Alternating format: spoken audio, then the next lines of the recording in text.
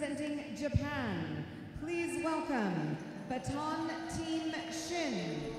Now, Baton Team Shin is actually uh, the same team that came to us in Holland, and they brought an all male team. They did Dracula. This year, they've got a mix of boys and girls. On the team is actually one of the coaches, Tatsuya Sakata.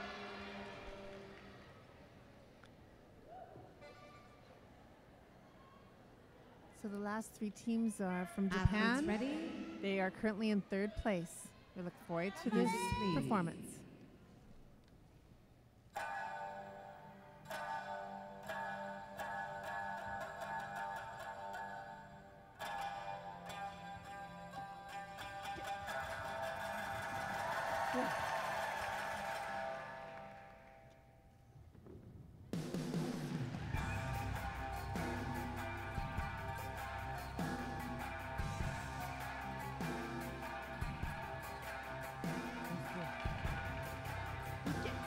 Yeah!